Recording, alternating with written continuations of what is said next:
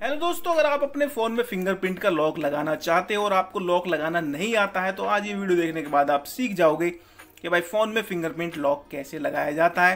वैसे तो भाई सब लोगों को आता, सबको नहीं भाई, अगर सबको आता तो वीडियो बनाने की ज़रूरत नहीं पड़ती। भाई कुछ लोग होते हैं जिनको नहीं आता। उन्हीं के लिए हम वीडियो बना रहे हैं। जिनको आता है भाई, उनके लिए तो खैर क्या कहें, उनको आता है तो आता है। जिनको नहीं आता भाई, उनके लिए वीडियो इंपॉर्टेंट होने वाली है। तो चलिए भाई, सबसे पहले हमको चलना पड़ेगा सेटिंग्स के अंदर।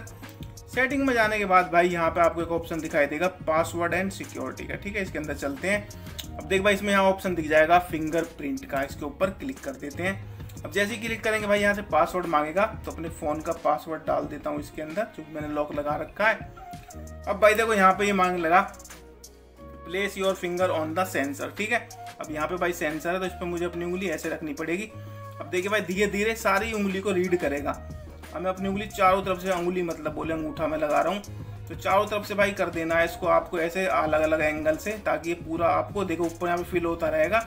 जैसे ही आपका भाई पूरा ये सेंस कर लेगा ना, ठीक है? तो आपको पूरी अपनी अंगूठी अंगूठी कह रहा हूँ, उंगली, अंगूठा, जो भी है, पूरा भाई इसमें सारा मतलब चारों तरफ़ से आप जहाँ भी टेकें तो इसको पता भाई डन हो चुका है। अब यहाँ पे डन कर देते हैं, ठीक है? इसके बाद do are also install your face on face lock मैं अपनी लगाना। तो अभी कर देते हैं कैंसिल इसको। अभी हमने फिंगरप्रिंट यहाँ पे लॉक लगा दिया है, ठीक है? अब एक बार देख लेते हैं यहाँ से, इसे ऑफ़ करते हैं। अब करते हैं, देखो फिंगरप्रिंट का ऑप्शन आ गया और भाई देखो खुल गया यहाँ से। चलते हैं दोबारा सेटिंग्स के अंदर और पासवर्ड एंड सिक्योरिटी देखिए फिंगरप्रिंट यहाँ से ऑन हो चुका है।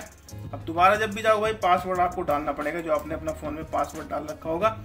इसके बाद भाई यहाँ से आप पूछेगा फिंगरप्रिंट से क्या क्या लॉक स्क्रीन अनलॉक करना चाहते हो ऐप अनलॉक करना चाहते हो प्राइवेट से ये आप अपने अनुसार जो आपको अच्छा लगे वो आप कर सकते हैं। यहाँ पे एक होता है फिंगरप्रिंट एनिमेशन ठीक है? तो यहाँ से भाई जो आपकी एनिमेशन जो शुरू में लगाते हैं वो आप चेंज कर सकते हैं। देखो, जैसे फ़िलहाल ये वाली है। आप यहाँ से ये वाली देखो, कुछ इस तरह से फिंगर लगाओ ना फिंगर के साथ एनिमेशन चेंज हो जाएगी, ये देखिए। इसमें भाई कुछ ऑप्शन आपको मिल जाते हैं। ये देखिए, यहाँ से सारे ऑप्शन है। तो ये भाई कुछ इस तरह के हैं। और ये वाला है नॉन अगर नॉन कर दोगे तो भाई कोई भी एनिमेशन नहीं आएगी, खाली ऐसे वाइट होगा।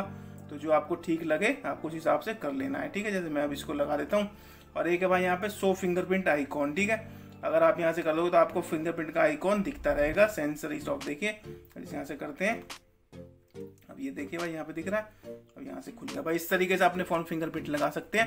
वीडियो अच्छी लगी तो लाइक कर देना और भाई चैनल को सब्सक्राइब भी कर सकते हैं। मिलते हैं अगली वीडियो में। तब तक के लिए टाटा बाबा नमस्ते।